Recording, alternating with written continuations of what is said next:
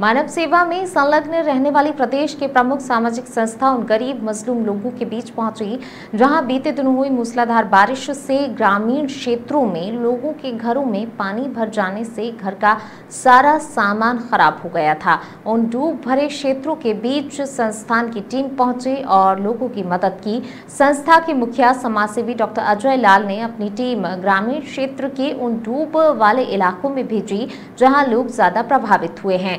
संस्थान की ओर से सैकड़ों गरीब परिवारों को महीने भर के लिए खाद्यान्न सामग्री बांटी गई।